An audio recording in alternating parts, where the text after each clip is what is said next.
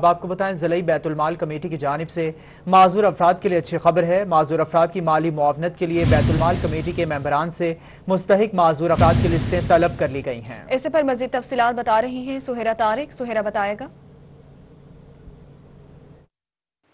جی بالکل، ضلعی بیت المال کمیٹی کی جانب سے معذور افراد کے لیے ایک اچھی خبر جو ہے وہ سامنے آئی ہے۔ بیت المال کمیٹی کی جانب سے اب معذور افراد کو مالی معاونت جو ہے وہ فراہم کی جائے گی، جس کے لیے تقریباً چوبیس لاکھ روپے کے فنڈ جو ہیں وہ بیت المال کمیٹی کے پاس معذور افراد کے کوٹے میں موجود ہیں، جن کو استعمال کیا جائے گا اور معذور افراد تک ان کا حق پہنچایا جائے گا۔ اس حوالے سے جو بیت المال کمیٹی کے ممبران ہیں، ان سے لسٹ مانگ لی گئی ہے کہ کتنے معذور افراد ہیں جو کہ مستحق ہیں اس حوالے سے شاید محمود انصاری جو بیت المال کمیٹی کے ممبر ہیں، مزید بتائیں۔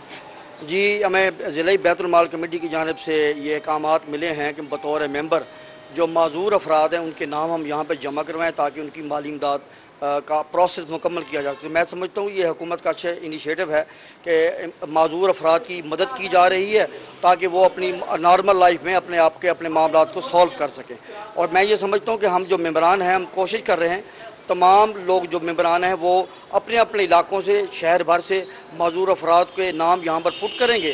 پھر ان کی سکروٹنی ہوگی، پھر ان کو مالی امداد کی چیک مل جائیں گے۔ تو یہ سمجھتا، سمجھنا چاہیے کہ جہاں عام لوگوں کو مالی امداد ملتی ہے، وہاں معذور افراد بھی حق رکھتے ہیں کہ ان کو کسی نہ کسی طرح مالی امداد ملنی چاہیے۔